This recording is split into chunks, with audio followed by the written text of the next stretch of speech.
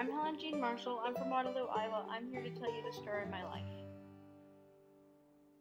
I was born on September 7th, 2004 at Allen Hospital.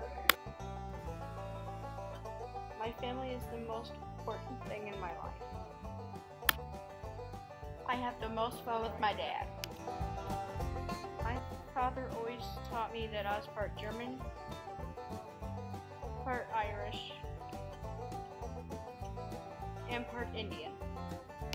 My favorite story about my dad is when my grandmother hit him in the head with the cast iron steel four times because he was fighting with my Aunt Louise.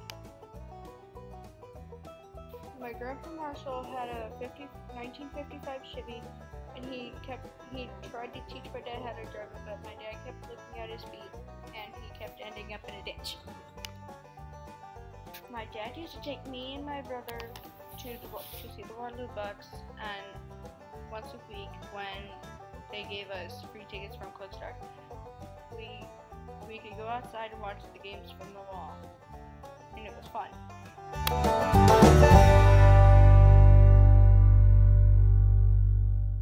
My mom is also my favorite person. I am very proud that she used to work at their carnival on the carousel and the balloon pop. She was also able to grease the rides. Many people thought because she was a girl that she wouldn't do it, but she proved them wrong. My mom's not afraid to get dirty.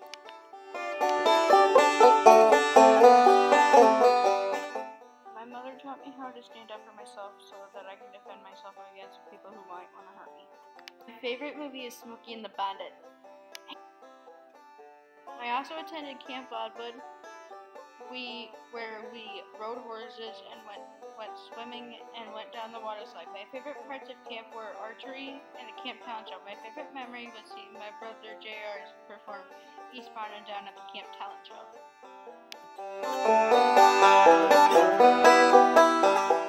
Thanks for watching. I hope you enjoyed the story of my life.